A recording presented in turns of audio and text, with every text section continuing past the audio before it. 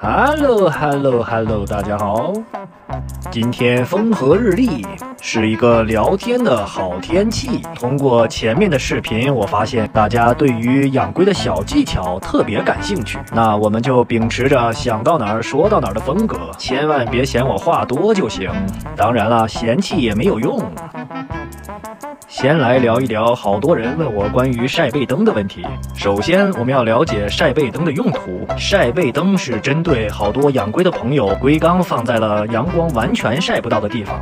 我们知道，除了少数的龟，比如说蛋龟以外，大多数的龟都是晒背爱好者。因为首先，龟的消化需要一定的温度；其次，晒背有助于龟对钙质的吸收，以及紫外线有一定的杀菌功效。了解了这些以后，我们就知道晒背灯需要提供热量。和紫外线。众所周知，灯泡在点亮的时候自然会产生热量。我们主要来聊一聊关于紫外线的问题。紫外线大致分为 UVA、UVB 和 UVC。UVC 由于穿透能力特别弱，所以就忽略不计了。UVA 的主要用途是什么？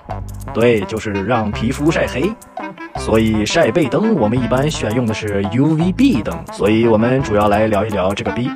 我们知道，促进钙质吸收主要依靠的是维生素 D，维生素 D 主要靠的就是 UVB 的作用。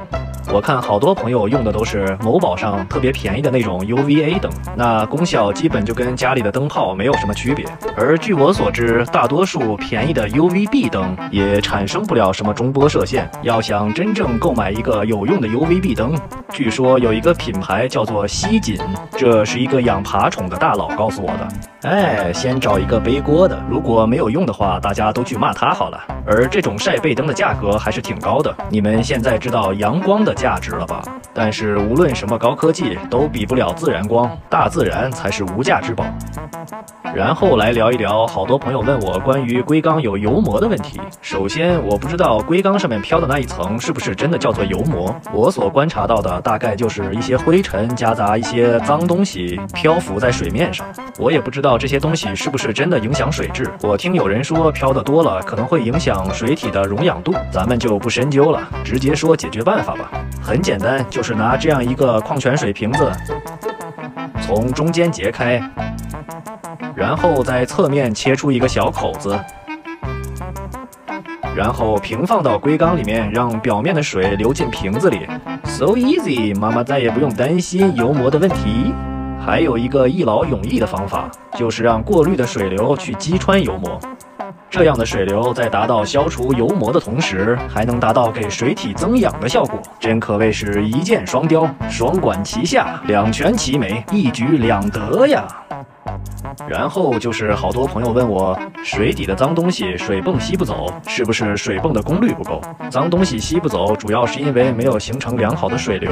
你光靠一个底吸泵想要吸走龟缸所有的脏东西，那估计需要一个连龟都能吸走的功率。所以大家还是想一想，怎么能让自己龟缸里面的水动起来？实在不行，可以买一个像我这样的造浪，水不动起来，我们就让它浪起来。我这个是因为之前刚换过滤的时候，它的管子不够长，没有办法改变水流的方向。后来我换了一条长一点的管子，基本就用不到这个造浪了。总之就是要形成良好的水流，水流，水流。OK，今天就聊到这儿吧。还有什么问题，等我想到了，或者是有朋友问到了，我们再聊吧。喜欢视频的小伙伴呢，就嘿嘿嘿，Thank you, my friend。